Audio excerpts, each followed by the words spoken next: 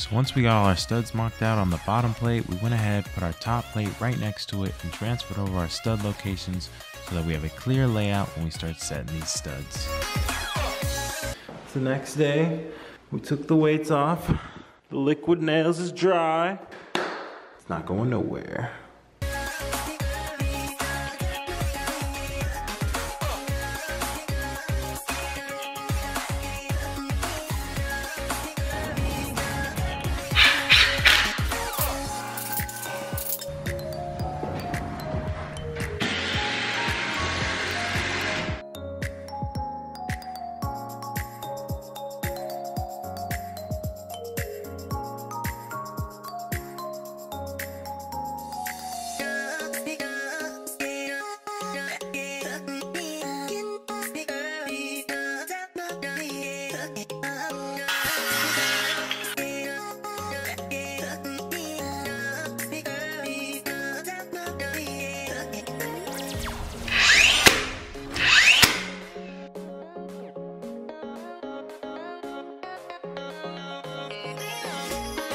All right, we got all our studs in. Time to go work on this header. So the header is gonna consist of two 2x8s with pieces of the half inch plywood in between, sandwiched in between, and that's gonna give us an even three inches to go on our trimmer studs.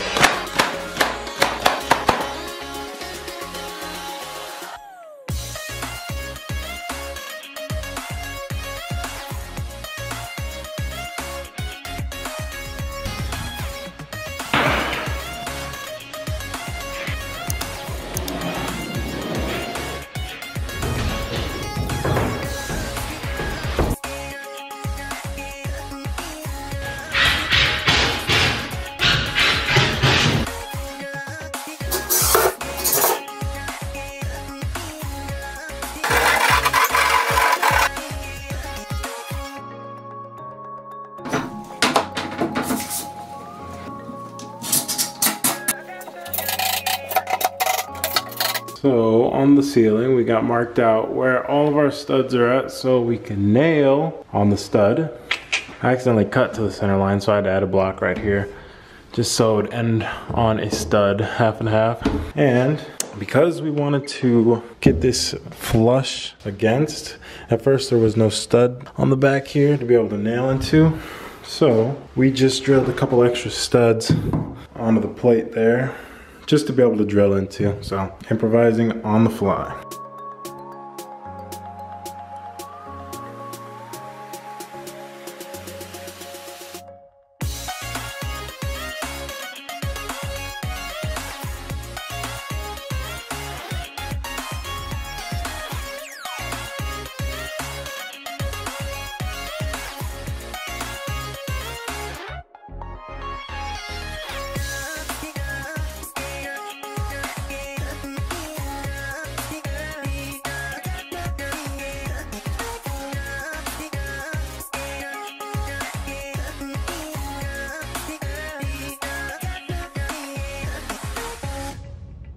All right, so everything's prepped, ready, inspected. We're good to go. Now we're gonna start mixing some mud.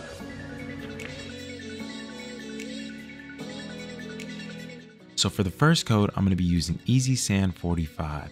Now, like the name suggests, we've got 45 minutes to work with it before this stuff starts setting. And that's gonna save us a bunch of time because we'll be able to sand and get our second coat up all in the same day. So to stop any dust from coming into the rest of the house, we block it off with some leftover drywall and then some plastic up top to fill in the gaps. So that while we sand, everything will be pushed out, sort of, by the fan and out the door so it's not getting in the rest of the house. So now that our wall's all smooth and ready to go, before we throw on texture and paint, we're gonna make sure to hit it with some drywall primer. That's just gonna lock everything in and make sure we get a great finish.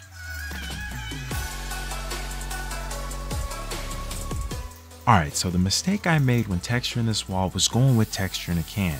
Now texture in a can is nice if you're doing a small area, but if you're gonna do something on this size, just go ahead and buy you a texture gun and an air compressor, and then you can reuse that and it's going to be about the same cost.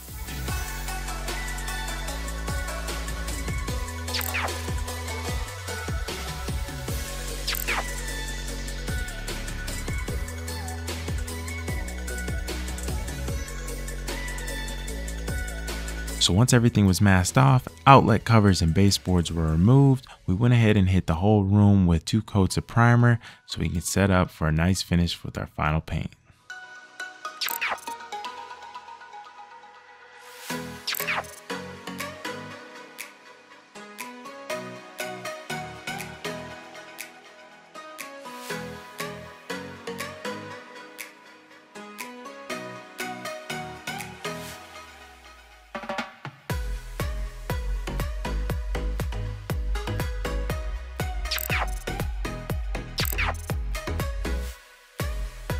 Here I just thought it was a good idea to use spray foam to fill the gap around the edges, just so our flooring would have a nice level surface to sit on.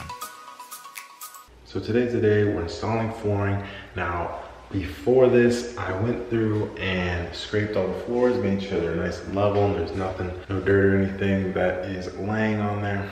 We are gonna be using this just standard underlayment. So we're gonna lay that out. But first we need to get our planks ready.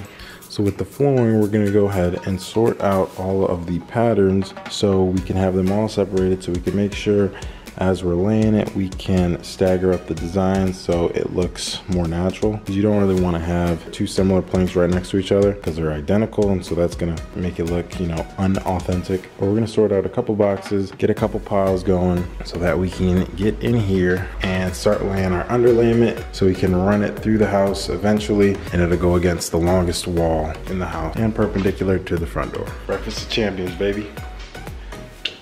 Start off the morning with a bang. Let's go.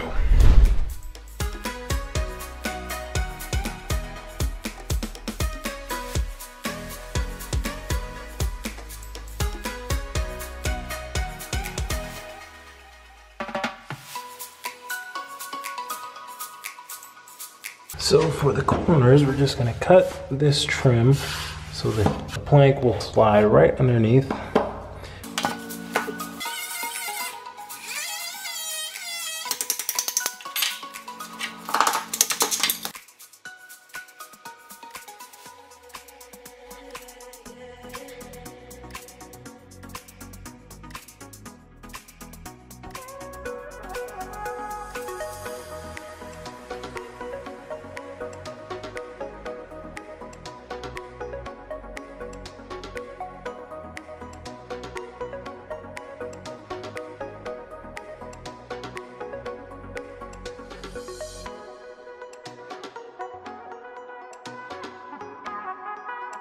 Alright, so I'm going to be honest with you guys, this is my first time doing trim.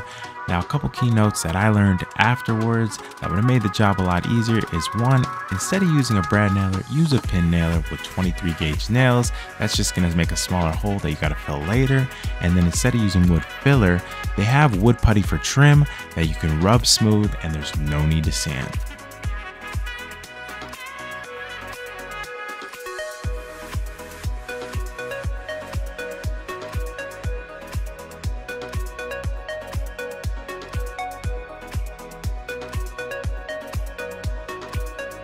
So before I wrap up this video and show you guys the final before and after shots, I want to thank you guys for watching. Hopefully you enjoyed the video. Drop a like if you did, comment if you got a question, and subscribe if you want to see more videos like this. But until next time, I'll catch y'all on the next one.